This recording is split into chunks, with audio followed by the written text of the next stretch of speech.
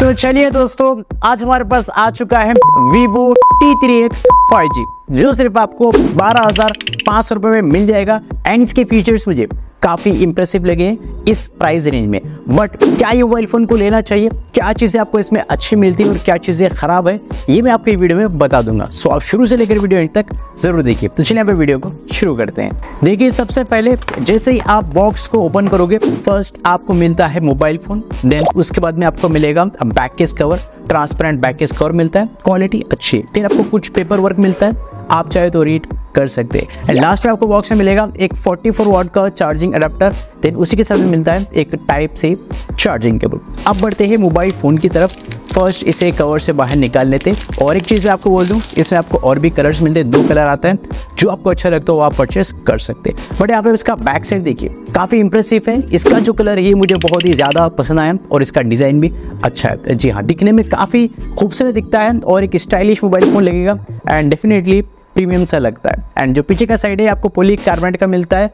और यहाँ पे देखो सो फिनिशिंग जो है ना, ये काफ़ी अच्छे से दी गई है। ऊपर आपको कैमरा लेआउट भी काफ़ी अच्छे से देखने को मिलेगा, जहाँ पे कैमरा है एंड नीचे वीवो की ब्रांडिंग में मेंशन है। फ्लैट एजेस है। और एक चीज़ ये भी है कि काफ़ी स्लिम है। जी हाँ। सो ओवरऑल जो इसका डिज़ाइन है बहुत ही अच्छा है, काफ़ी इंप्रेसिव मुझे लगा एंड आपको कैसा लगा या मुझे कमेंट करके बता सकते हैं। अब बढ़ते हैं इसके डिस्प्ले की तरफ़। Vivo T3X 5G में आपको 6.72 इंचेस की एक full HD plus IPS display मिलती है। जी हाँ फुल एचडी प्लस की एक आईपीएस डिस्प्ले जो अच्छी है। और एक चीज़ मुझे डिस्प्ले में ये भी अच्छी लगी है, आप देखिए डिस्प्ले पे। साइड के बिजल्स और चीन साइज़ बहुत ही कम है। जी हाँ जिसकी वजह से जो डिस्प्ले का लुक है, ये काफ़ी अच्छा दिखता है। एंड और एक चीज़ ये भी है कि इसमें आपको 1000 थाउज़ेंड निट्स की पीक ब्राइटनेस दी गई है। काफ़ी ज़्यादा है और अच्छी भी है इस प्राइस रेंज में, जहाँ पे आप इंडोर में हो या फिर आउटडोर में। डिस्प्ले के ब्राइटनेस को लेकर आपको प्रॉब्लम नहीं होगी। और इतने नहीं, इसमें आपको दिया गया है 120 ट्वेंटी हर्ट्स की हायर स्क्रीन रिफ्रेश रेट जी हाँ 90 हर्ट्स नहीं दिया गया डायरेक्टली 120 हर्ट्स है जिसकी वजह से डिस्प्ले का परफॉर्मेंस स्मूथ हो जाएगा। जब आप यूज़ करोगे तो स्मूथनेस आपको डिस्प्ले पे दिखाई देगी। और साथ में 180 हर्ट्स का टच सैम्पलिंग रेट है एप्स ओपन क्लोज अच्छे से हो जाएँगे, कोई भी ज़्यादा प्रॉब्लम आपको नहीं आएगी। तो ये चीज़ मुझे यहाँ पे अच्छी लगी।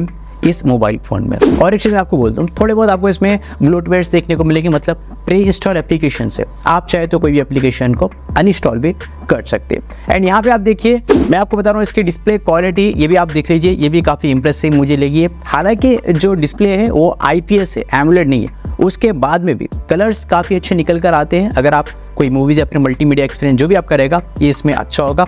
कलर्स अच्छे निकल कर आते हैं। और जो क्वालिटी है ना डिस्प्ले की ये भी अच्छी है। एंड और एक चीज़ मैं आपको बोलूँगा मल्टीमीडिया की अगर हम बात कर रहे हैं तो इसमें आपको डुअल स्टीरियो स्पीकर्स मिलते हैं। जी हाँ डबल इसमें स्पीकर्स दिए गए हैं सो सॉन्ग या म्यूज़िक जो भी आपका मल्टीमीडिया एक्सपीरियंस रहेगा मूवीज़ ये काफ़ी अच्छा होने वाले इसमें सिंगल नहीं डबल स्पीकर दिया गया है। सॉफ्टवेयर में आपको ये मोबाइल फ़ोन में फन टच ओएस 14 मिलेगा, जो कि एंड्रॉयड वर्जन 14 पे बेस्ड है। एंड साथ में रैम एक्सपेंशन सपोर्ट भी दिया गया। अगर आप बेस वेरियंट फोर जी वाला लेते हो तो फोर जी रैम आपको एक्सपेंडेड मिलेगा। और एक चीज़ ये भी है, कि इसमें आपको सिर्फ़ हाइब्रिड स्लॉट मिलता है मतलब एक सिम एक मेमोरी कार्ड या फिर आप दो सिम यूज़ कर सकते हैं। ट्रिपल कार्ड स्लॉट यहाँ पे नहीं दिया गया है। और देखिए, इसका कैमरा कैसा है? ये भी बहुत ही इंपॉर्टेंट है। मैं आपको बता दूँ, इसमें आपको 50 मेगापिक्सल का प्राइमरी कैमरा मिलता है, साथ में आपको 2 मेगापिक्सल का कैमरा भी दिया गया है। फ्रंट में आपको 8 मेगापिक्सल का कैमरा मिलता है। फीचर्स की बात करते हो तो कैमरे में फीचर्स भी दिए गए जहाँ पर डेडिकेटेड नाइट मोड मिलता है। फ़ोटो आप ले सकते हैं ऑफकोर्स वीडियो देन उसके बाद मोर में भी आपको फीचर्स मिल जाते हैं। जहाँ पे slomo promo fifty megapixel camera ये सारी चीज़ें देखने को मिलती है। बट यहाँ पे ये देखिए फ़ोटोज़ में आपको बताता हूँ मैंने कुछ ज़्यादा फ़ोटोज़ नहीं लिए। फ़ोटोज़ मैंने थोड़े बहुत लिए। बट जो पिक्चर क्वालिटी ये अच्छी है।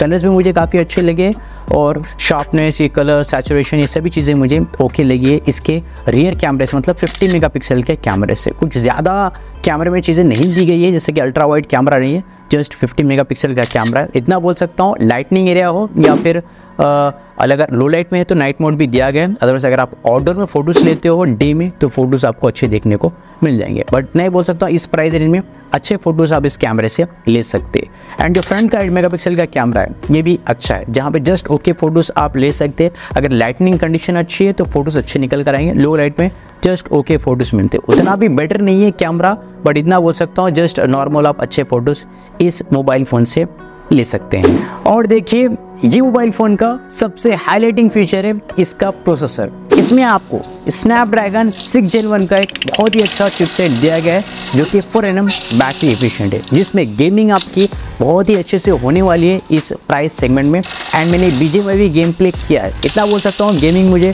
काफ़ी अच्छी लगी है इस मोबाइल फ़ोन में। और गेमिंग के लिए एक अलग से डेडिकेटेड वीडियो बना दूँगा, जहाँ पे आपको सारी गेमिंग की इन्फॉर्मेशन मिल जाएगी, कितने पेस होगा, कितना हीट होता है वो सभी चीज़ें आपको उस वीडियो में पता चल जाएगी। और इसी के साथ में और एक अच्छी चीज़ मुझे ये भी लगी है इस मोबाइल फ़ोन में, वो है इसका बैटरी बैकअप इसमें आपको 6000 थाउज़ेंड की बड़ी सी बैटरी दी गई है। जी हम और मैंने यूज़ किया है।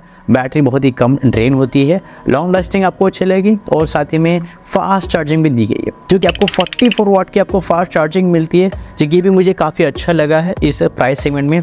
यहाँ पे कोई भी कॉम्प्रोमाइज़ नहीं किया गया बैटरी को लेकर। फास्ट चार्जिंग भी है और बड़ी सी बैटरी भी दी गई है। ये एक प्लस पॉइंट है। मेरी तरफ़ से। अब मेन बात करते हैं, क्या ये मोबाइल फ़ोन को लेना चाहिए या नहीं? मेरे हिसाब से मैं आपको बता देता हूँ। देखिए, जो इसका बेस वेरिएंट है four G B RAM one twenty eight G B ROM ये आपको मिलता है आफ्टर डिस्काउंट के twelve thousand five hundred rupees में। देखिए, बारह हज़ार पाँच सौ रुपये में आपको एक बहुत ही खूबसूरत सा डिज़ाइन मिल जाएगा एंड साथ में डिस्प्ले अच्छे आई पी एस है बट 120 हर्ट्स है। देन उसके बाद में जो चिपसेट है गेमिंग के लिए काफ़ी अच्छा है, जिसमें आप गेमिंग अच्छे से कर सकते हैं इस प्राइस रेंज में। बैटरी बैकअप बहुत ही अच्छा है और 44 वाट की आपको चार्जिंग भी, यहाँ पे मतलब फास्ट चार्जिंग भी मिल जाती है। सिर्फ़ कैमरा जस्ट ओके आपको मिलता है। देन सभी चीज़ें मुझे प्राइस के हिसाब से बहुत ही अच्छी लगी है।